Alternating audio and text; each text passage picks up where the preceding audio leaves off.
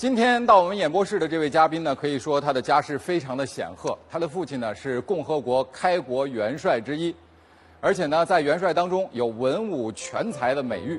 在他去世的时候呢，毛主席亲临了他的这个追悼会现场。在那个时期，毛主席追悼会现场出现的只有这一次。今天到我们演播室的这位嘉宾呢，他自己在那个时期也是一个叱咤风云的人物，因为影响力太大的缘故，这个江青啊派他的同学在他的身边试图抓住他的把柄。随后，周恩来总理亲自把他送到了部队，在短短七年的时间里，连跳了三级，从普通的士兵成长为军队当中的副团级干部。就在大家觉得他前途一片光明的时候，他突然放弃了所有的这一切。只身回到了北京，他呢就是咱们陈毅元帅的儿子陈小鲁，让我们用热烈的掌声欢迎他。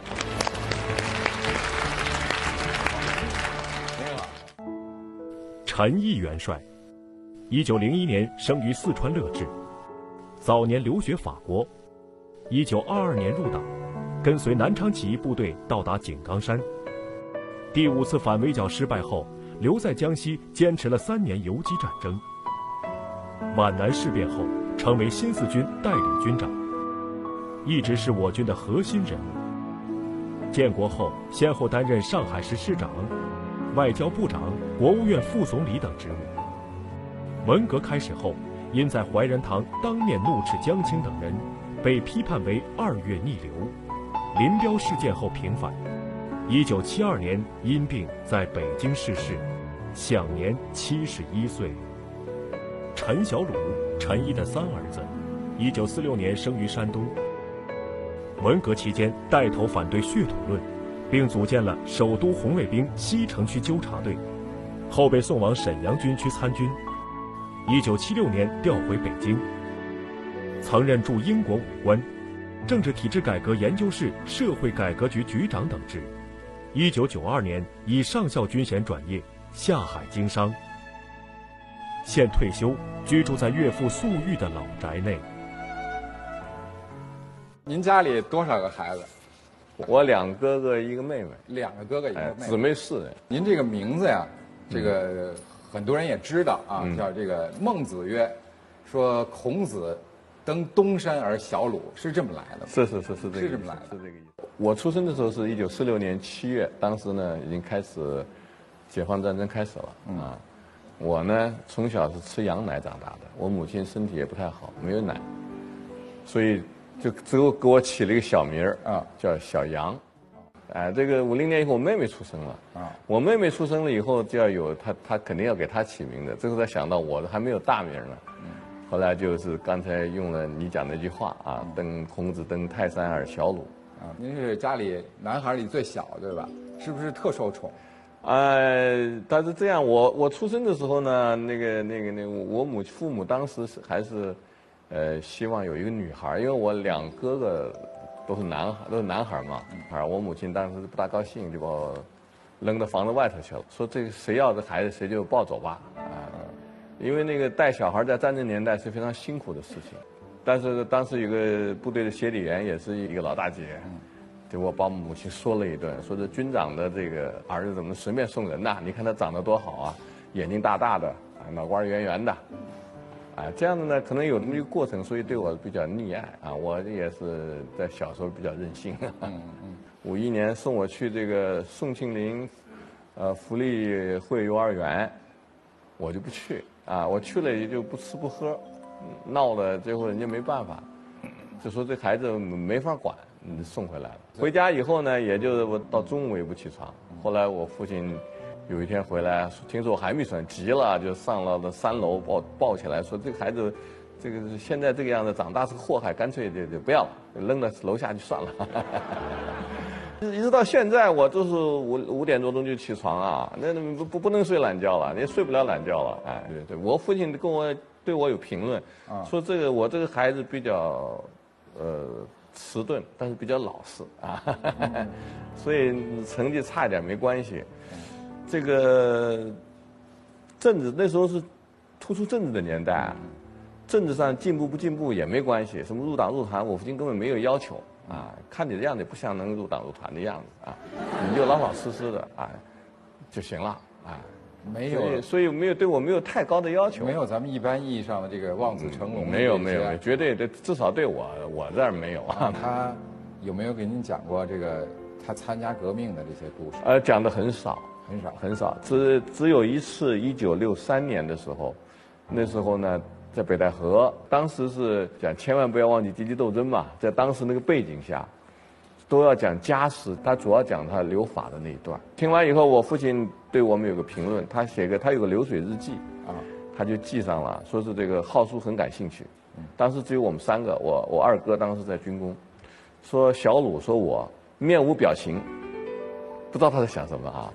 说这个小三就是珊珊，我妹妹是不耐烦，她想玩嘛，她是更小嘛，哎，更小。虽然您年龄小啊，但是据说你那么小的年龄就会这个要求爸爸给自己学校办那是学校给的任务，要开一个那个呃运动会，嗯，就就跟我讲说你让你你爸给提个词，我不敢啊。我父亲虽然对我平常倒是很宽厚，但是他还是挺有威严的，在我们心目当中不不太敢。哎，后来我就在门口晃悠晃，晃来晃去不敢进去。他看见了，说你什么事你进来说。我就说学校要要开一个一个一个一个运运动会动会，说想请你提个词，那个是应该是五九年。记提什么词我也不记得了啊，无非就是什么发展体育运动啊，什么什么这些，那都完成任务就如释重负了。然后给我拿给我时候还讲了，说你拿回去给老师看一看，如果他们觉得满意，就行了；如果不满意，我再写。我父亲爱好围棋，围棋是他的终身的喜欢围棋爱好啊。他在那个留法的时候就开始下棋啊，当时跟李立山下棋啊。当时他代表四川，李立山代表湖南，湖南哎，大家下棋啊，还有旁边有起哄架秧子的，嗯啊。呃，最后谁谁赢得多呀我父亲赢了，赢了以后，那个李立山急了，就把那个围棋给扔到海里去了。他们坐船呢，那时候要坐一个多月的船呢。他那时候下棋，我很快就，我很小就会会下棋，我八岁就会下围棋。然后呢，我父亲找不到人下了，就跟我下。啊、一开始我是下不过，但慢慢我就下过他了。嗯，所以我记得有一次呢，我我我跟我父亲下棋啊，下完以后，我父亲呢，看看不行了，他就要悔棋啊，他说这步就走错了。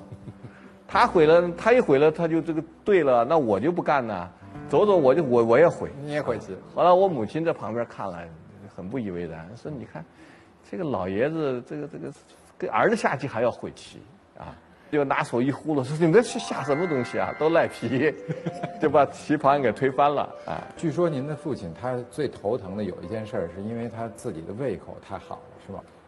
对他，他比较好吃，他是到哪个地方他都会找到说的最好的菜是什么东西，他都知道啊。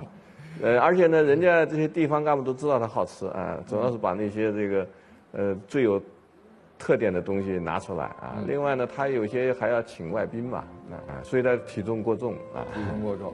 这个是我母亲老管他啊，管他有不高兴还要吵架的。我父亲是，你看他的是一米六八，八九十公斤，至少八九。所以在您母亲在饮食上其实是控制他的。啊，对，家里呢是要控制他，哎，但是他老在外面吃，你就控制不住啊。有一次呢，那个这个廖承志就从外面搞了一个榴莲，弄来以后就弄到我们家客厅，我母亲闻的味道，我闻的味道都不吃。廖承志还还在跟我们说：“哎呀，你们真傻，这个好的东西都不吃，榴莲忘返呐，华侨吃了都不不愿意回家的。”我父亲说：“你不要管他，他们不吃我们就多吃啊。”最后把这个一个榴莲吃光了以后吧，然后呢，拿手就蘸着那个那个榴莲里面是稀的，就掉到这个桌上的这个东西啊，拿手两个人就拿手蘸着蘸着往嘴里抹。我母亲气坏了，说你这个儿子在跟前，你们俩就是不讲卫生。他们俩不管，他俩就抹完了，就是非常好吃。啊。另外，你看我父亲爱抽烟，后来家里就是他高血压，呃，到西藏以后又头疼，这样子医生就说你不能再抽烟了啊，家里让他戒烟就不买烟。但是他有他是不是老见外宾？这见外宾你总是有烟总是有的嘛，对吧？他就就抽这个烟。他对外说我戒了，但是抽完以后，人家当时有纪录片给他照下来了，拿个烟卷叼个烟卷，呃，这也就罢了。后来呢，他不家里没有烟嘛，他一看那个人家一盒烟摆在那样，他就把它顺手揣到口袋里了。结果我母亲跟他吵了一架，说你一个外交部长，你就还占公家的便宜，你好意思？他没办法，又给他买烟。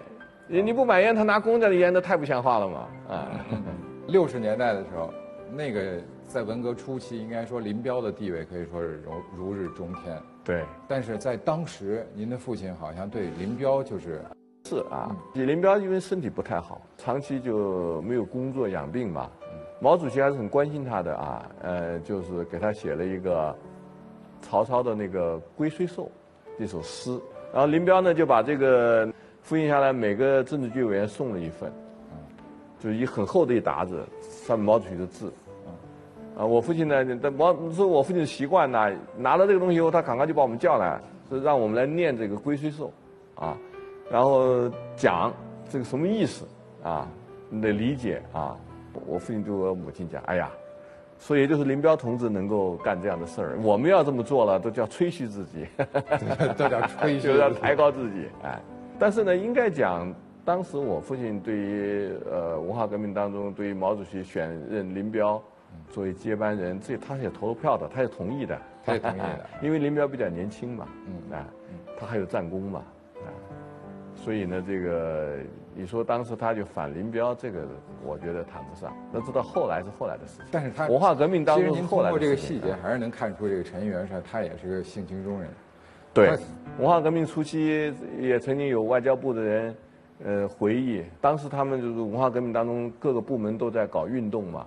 他开会的时候就讲了一句话，叫“现在啊，这个是乾坤独断”，嗯，这这个就是等于直接批评主席了。你说就是。他就是主席一个人说了算了。我父亲的一个特点就是比较能够团结人，反对他的人也不太多啊。他和各个方面各方面的关系都搞得不错。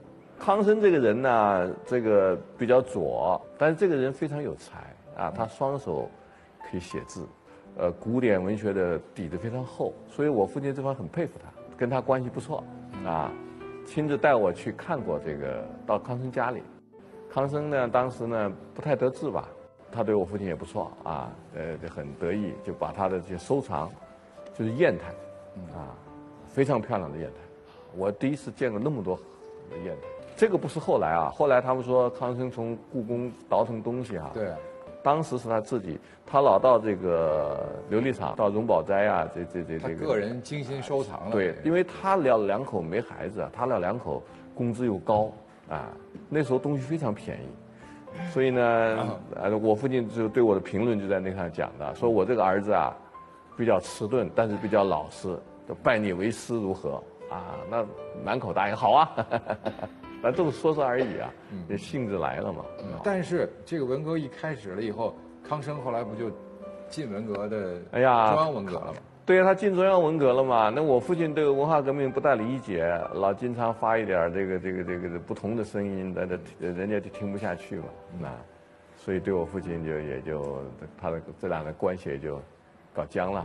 后来搞 P 二类逆流的时候啊，康生就揭发出，就当时是一九五九年在庐山会议开会啊，这个中央的领导全走了，我父亲是留守。留守在北京，那个苏联大使就跑到跟我父亲讲说：“你们中央都去开会去了，你可以搞政变了。”啊，这个是大事儿啊，这个这是不得了的事情。然后呢，我父亲呢就把这个事情就向主席汇报了。主席专门开了政治局扩大常委扩大会议，康生在在场，啊，把这让我父亲把这问题讲清楚，讲了，然后就说明说这个问题已经就到此为止了。这可以看出来老大哥对我们的态度。您您这这种关系，这种话，这虽然是个玩笑的话，可是国与国之间、党与党之间开这种玩笑，那是，哎呀，有点有点太大了啊，而且有点居心叵测了啊。但但是在文化革命当中，批二元逆流的时候，康生把这个兜了出来，等于是说我父亲和伙同苏联搞政变，那当底下的这些。不明真相的中央委员，那当然就是群起而攻之了。那个你搞政变还得了了？你是纯里通外国嘛？嗯。所以这个他的就个人品质问题了，对吧？这个事情本来已经是有结论的东西，你你在这个会上拿出来干什么呢？呃，实际上就是呃，欲加之罪，何患无辞啊？呃，要收罗一切东西把你打倒。六三年，我亲耳听我父亲跟我母亲讲，哎呀，说是他出国呀，他有高血压，也时常犯头疼的病。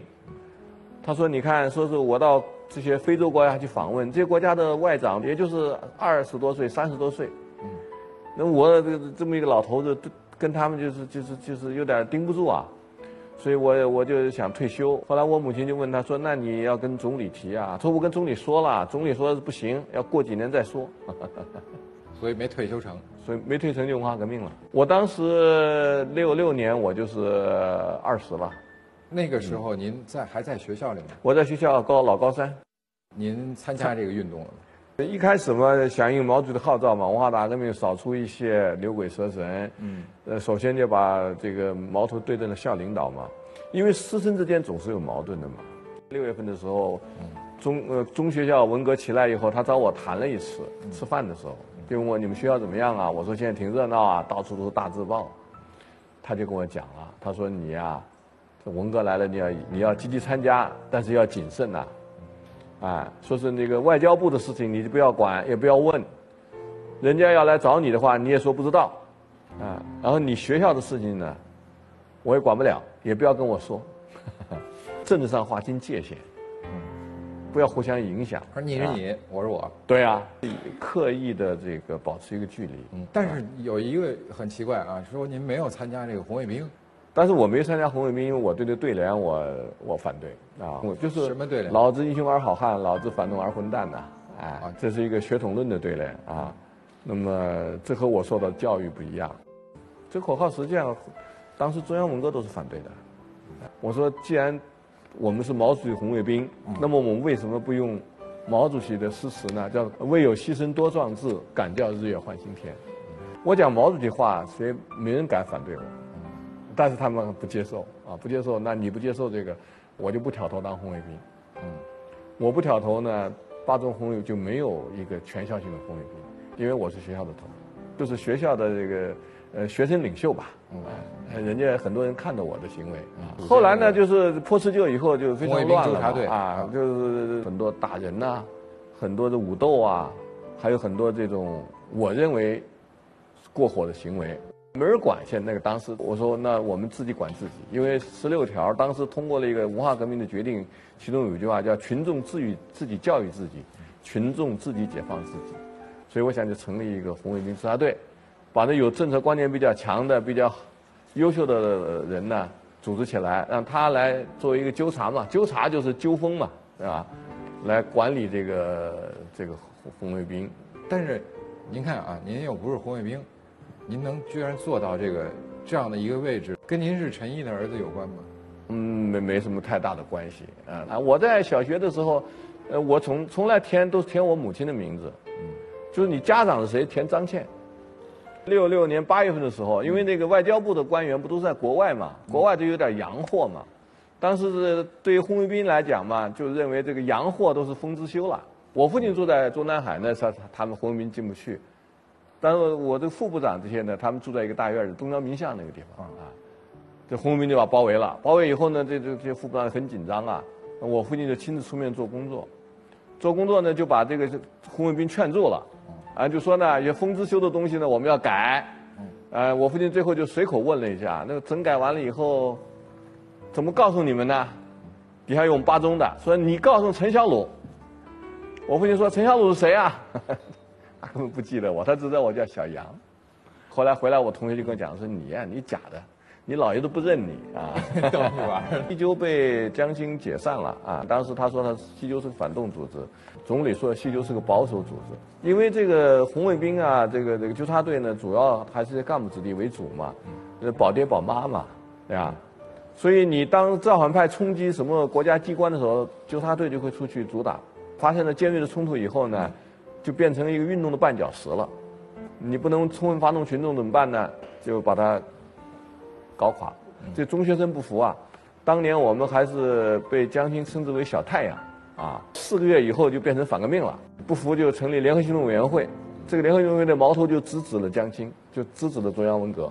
中央文革就要找谁是后台呢？这就盯上我父亲恐怕是后台，因为当时他们的口号就是坚决拥护中央军委。反对中央文革，联动的方法。哎，这不就变成了一个问题了吗？嗯。那么算来算去呢，这里头啊，这个就就觉得我的这个可能性比较大，啊，所以呢，当时他就找了这个我的一个同学啊，就是让他来接近我，同时向我散布一些这个反对中央文革的言论，看看我有什么反应。这等于是引蛇出洞，啊，而且对他保证，你讲的反对中央的言论没有问题。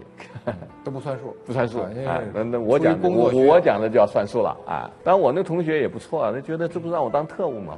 他也不敢公开的反对，他就转了一圈然后就过了两天打个电话给他联络人说，哎，说这个陈小鲁不在学校里，我找不到他，就就就过去了。啊，您是什么时候离开家去参军的？我是一九六八年四月，我参军也不是参军。因为当时呢，这个中央文革想抓我，但是当时总理不同意，说你凭什么抓人家？他有什么问题？这个联动的这个组织，您本身没有？我没参加，我哪敢参加？我早就哎，那么我老爷子早就跟我讲了嘛，你这个你要谨慎从事啊！哎，我虽然对我中央文革不满，但是我也不敢，我还有父亲的，你你说是不不不不连累，这谁说得清楚在文化革命当中啊？所以呢，这个后来总理就建议，就就说了，这样子把把我弄到部队去，切断他和社会的联系。呃，将来如果发现什么问题要抓也容易，在部队了，对吧？没有什么问题，他可以在部队去发展的，他也不会有意见，因为当时参军是一个，呃，应该说是一个最好的了。这样子就把我送到部队，我当时不算参军，算到部队算是这个这个学习改造。学习改劳动改造，所以把我把把我送走送到部队，在那个军垦农场里面，啊，在军垦农场我们部队在那儿，我这个部队是三十九军。当时走的时候给您嘱咐什么事儿了吗？啊，我父亲嘱咐我，就说你就准备你这辈子别回来了，自己去努力，不要回这个家了，见不到我们了。这个话当时他说的很重啊，你就他因为因为谁也不知道，其实我当时我也不知道我父亲最后能怎么样。二月逆流以后，我父亲跟我谈的就是说。我这次我犯了大错误，那那那会不会被打倒就看主席的意思啊。但是我呢是不不反不不反党的，不不反对人民的啊。这这这这这样，因为当时多少老干部都被打倒了，刘少奇啊、小平啊，你你你你你数吧，啊，留下来的像我父亲留下来的就不多呀。他说这些话的时候，您当时怎么想？我当时是相信的一条，就是毛主席讲的这个叫做彻底的唯物主义是无所畏惧的。我知道我在文化大革命干了什么事儿，我不怕。另外呢，我去之前总理找我谈过话，他就讲了，他就讲到说你你父亲十九岁到法国，你母亲十六岁参加新四军，这意思很清楚嘛。你现在都二十多岁了，你去到部队里去闯闯江湖也没什么嘛，对吧？总理给我定了一条纪律，嗯。不准跟家里写信，他因为要切断和那个内外的联系嘛，啊，到了部队呢，政委就跟我讲啊，说呃上面讲了说你不能戴领章帽徽。后来我就讲了，我说那不是在部队不就很特殊了吗？人家都是戴着领章帽徽，我就一个不戴领章帽徽，那是不是不好啊？啊，政委说那我请示一下，请示完了说可以戴领章帽徽，但不准照相，因为我不是军人。我没有，我不是去当兵，是去锻炼，是去改造，就是说我不算连队的一员，所以就连队没有你的津贴。到后来呢，人家班长也就人家这都都了解啊，说是这个人在那干了两年了，你也不给他发钱，也不给他发发衣服，衣服都破了，你你你到底怎么办？就就你就这种身份干了两年，对。后来团里一看就不对了，那个主任亲自找我谈话啊，给了。给我从干部补助里拨了二百块钱，就是给你用吧，啊，实际上我我带了来一百块钱，我才用了十四块钱。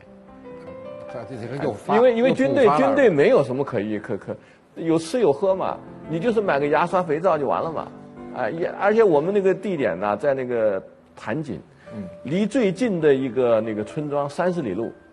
刚去部队的时候，您待的那一年半两年里。人家知道您是，我当一去人家就知道了，因为我没改名字。知道了以后，其实呃，部队很单纯。有没有一些照顾呢？啊，没没有什么特别的照顾，没没有，只有只有一次我记得，然后我去了以后，反正就当时就是呃种种地嘛，种水稻嘛。人家怎么干，你怎么？后来那个班长就跟那个连长说了，说你真把他当个战士来用啊，他不是我们战连里的战士啊。那连长一想，对呀，说你你你今天你别干了，你得给我整点材料，到连部啊，啊就是就这一次，以后我们干的不错，就当骨干用了嘛。我记得当年就是在我们在盘锦嘛，生活很艰苦，但也有乐趣。这个抓螃蟹就是一个乐趣。就九月份的季节，螃蟹多的时候呢，那螃蟹啊，你晚上打个手电，那螃蟹往上爬。我和另外我们两个，一个人两个哨兵嘛，我们俩人就干嘛呢？就打着手电抓螃蟹，哎，抓了一麻袋，煮熟以后啊，那对不起，我们先吃。我当时我记得我吃了四十多个，就只吃黄，只吃黄不吃肉，哎，没油一点没水，哎，吃完以后，那我们当时睡的是炕，一个排人呢是炕，一个班一个班一个班一个班，然后把他们都叫醒。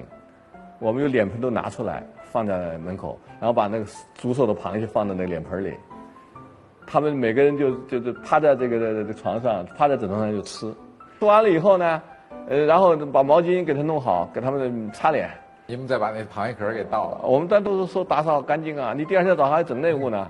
后来在您的这一生里，没有再吃过那么多的螃蟹。没有没有，那四十多个，啊，一次四十多个，那时候肚子里一点油水都没有。那么十一月份的时候就没有螃蟹了，螃蟹得到那个水里去摸，这个河里都有冰碴子了啊，一层薄冰。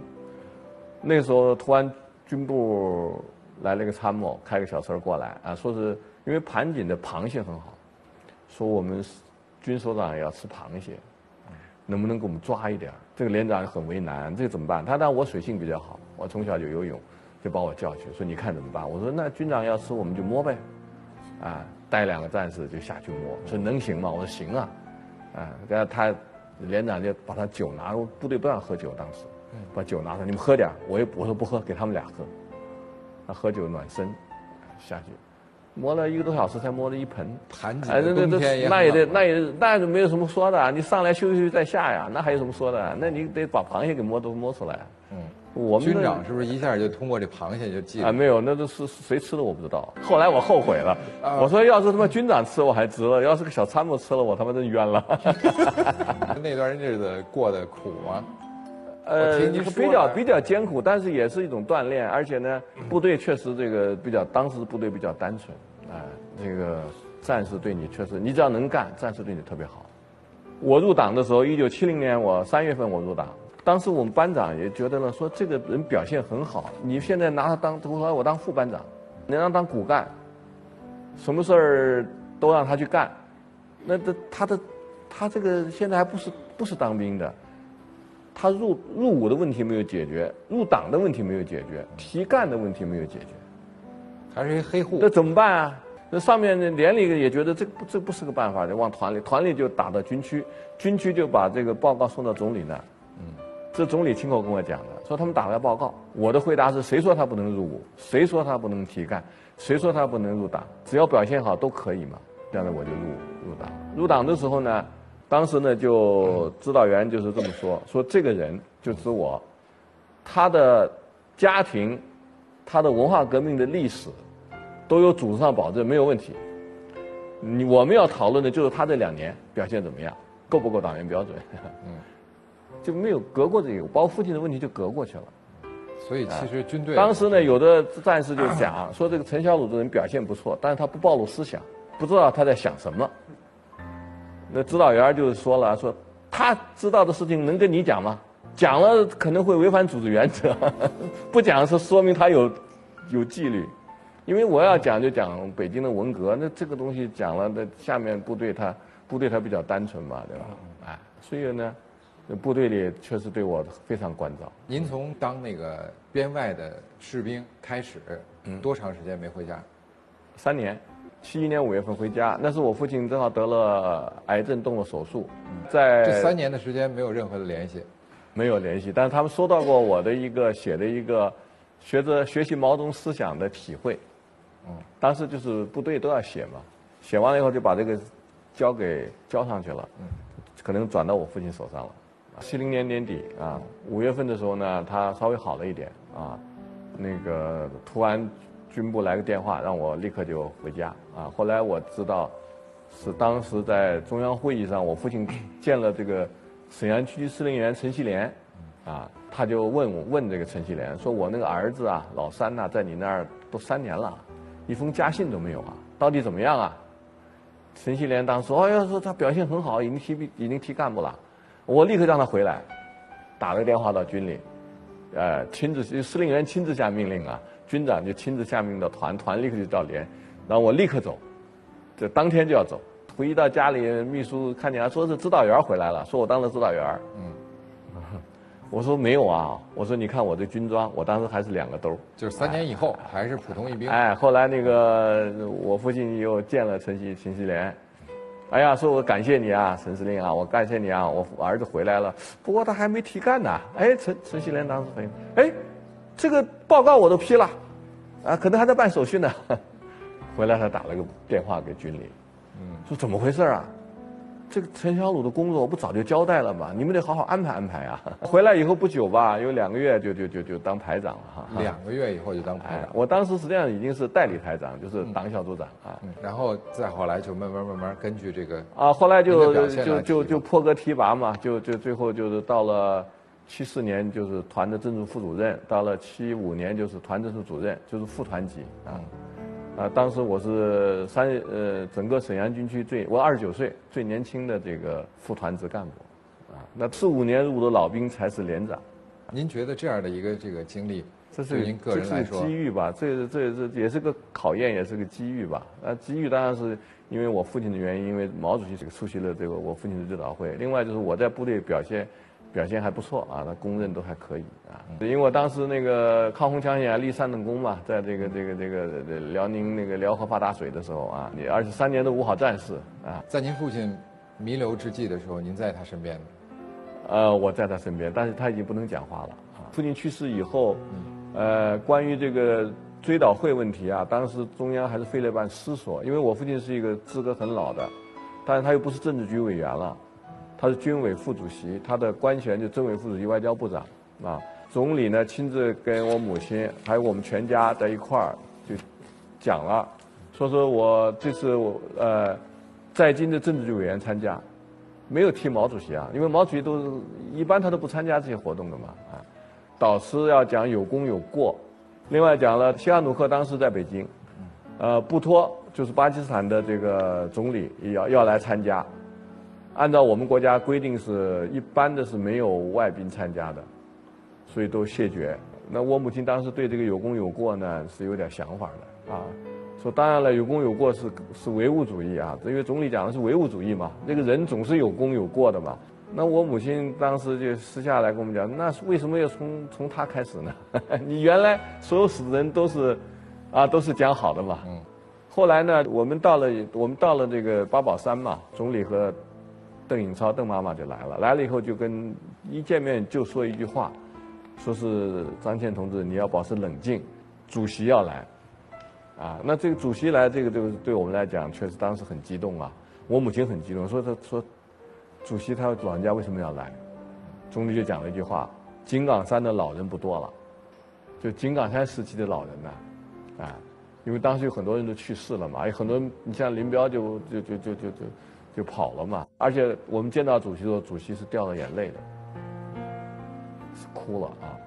那么这个呢，有感情，有老战友啊。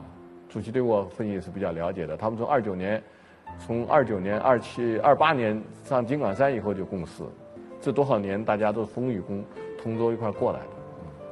主席在这还有一个也可能是主席也有想法，当时林彪垮台以后呢。